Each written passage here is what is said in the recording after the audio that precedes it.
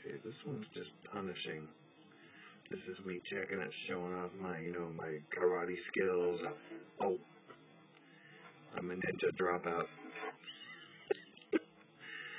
I'm a ninja school dropout. Um, let's see that again. Oh yeah. Now flip. Oh, ouch. And then, you know, you get up and keep on, you know, don't let bad mess up like that slow you down. Do it again.